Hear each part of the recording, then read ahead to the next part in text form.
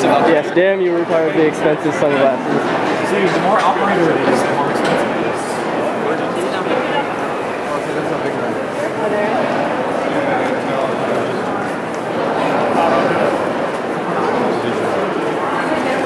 Oh, I gotta.